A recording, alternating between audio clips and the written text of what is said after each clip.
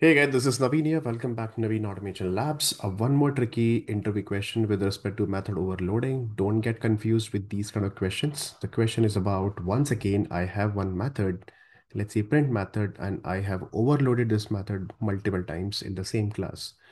Here you can see that same method name, print, print, print, but uh, the parameter is different here, which is integer and here you can see this is your integer var arg parameter where you can see that this is behave like a normal array parameter. You can see this is an integer array parameter. So when you write three dots, right, it will become array parameter here. Okay.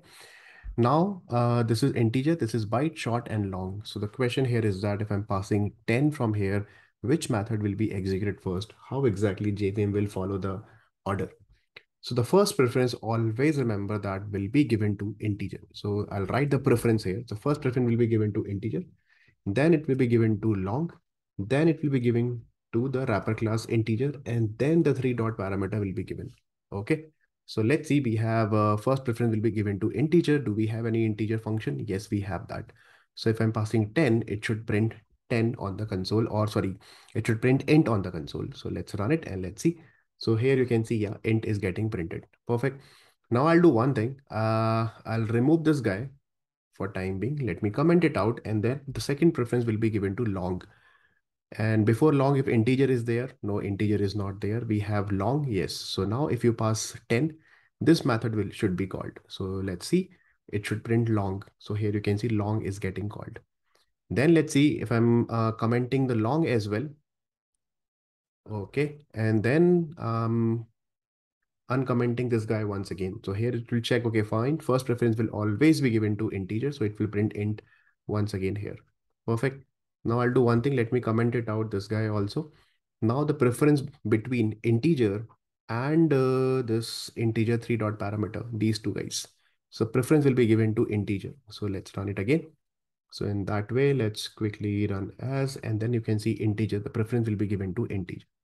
Okay, and then after that, if you comment it out this integer wrapper function also, I mean the wrapper parameter also, now the integer three dot parameter byte and short.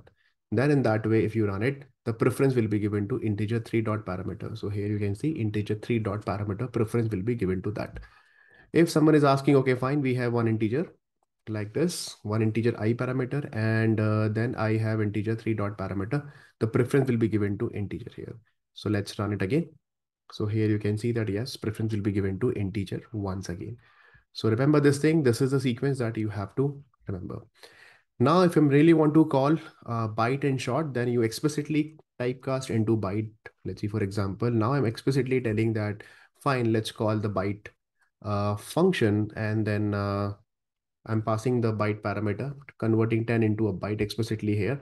And then if I'm calling it, then in that case, it will call the respective byte function. Here you can see 10 will be given to this byte, and then the byte will be printed on the console. You can see it over here.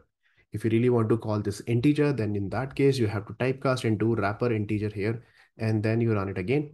So in that way, you can see integer is getting called. If you really want to call same thing, let's see for the short number, just part short here and then run it again. So here you will see that short method is getting called right? If you really want to pass the long, you can write long. Otherwise, you can pass simple 10 capital L or a small l also. You have to explicitly tell that this is a, a long number when you run it. Then the respective long method will be called here because this 10L is a long number. Then compiler will decide, okay, fine, this long i 10L will be given to this guy and long will be printed here.